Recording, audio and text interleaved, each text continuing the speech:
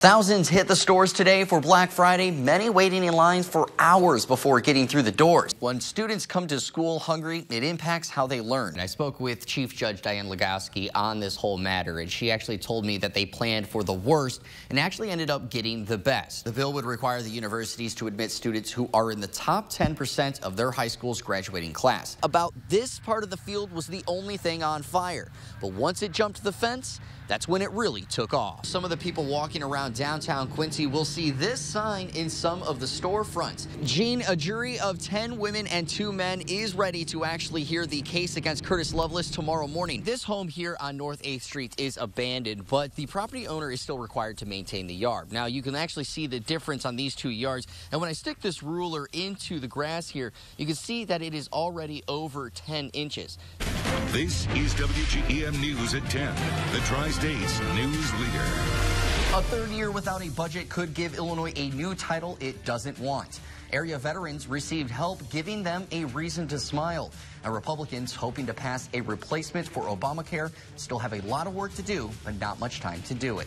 Good evening. I'm Jeremy Culver filling in for Don Dwyer. Senate leadership want to vote on the new health care bill this coming week, but right now there isn't enough Republican support to pass it. NBC's Chris Pollone reports. Found myself all of a sudden with the news.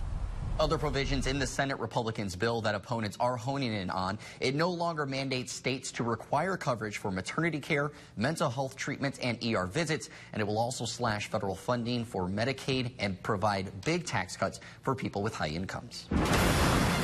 Let you know what Sunday holds. It's going to be another good day. Details coming up. All right, thanks, Kevin. Well, New Jersey residents are assessing the damage after severe thunderstorms roared through the state overnight. The storms brought heavy rainfall and strong gusty winds that reportedly reached more than 70 miles per hour. Trees were uprooted and broken branches littered the streets, causing police to close off several roads. Power lines were also knocked to the ground, and utility crews say thousands of customers across the state remain without power. And after the explosion, it was a lot of heavy winds and a snap, crackle, pop from all the trees falling one after another. Lots of rain, thunder, there's just so much going on at one time, so it was very scary. No injuries were reported. Crews expect it will take most of the weekend to clean up. A small plane crashed into a daycare center this morning at Chico's corporate headquarters in Fort Myers, Florida, killing one person. On the security video, you can see the plane flips and hits the building and then bursts into flames.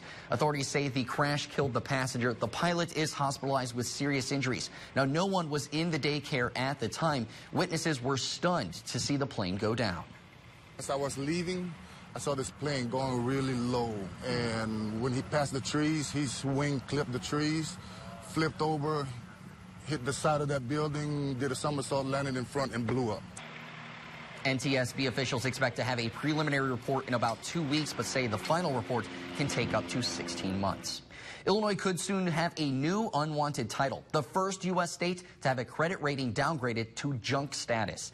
S&P Global Ratings has warned the agency will likely lower Illinois' creditworthiness to below investment grade if feuding lawmakers fail to agree on a state budget for a third straight year. Now, that would increase the amount the state will have to pay to borrow money, such as things for borrowing for roads and or financing existing debt.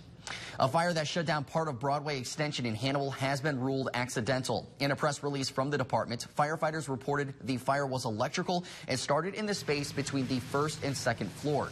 No one lived at the home, but two people were inside renovating the home at the time. No one was hurt. The home suffered heavy smoke and fire damage. Summer may have officially started this week, but Hannibal kicked off its summer today with the annual Fiesta del Sol. WGEM's Emily McCarter attended the Hannibal Rotary Club celebration and has more on it tonight. Hannibal.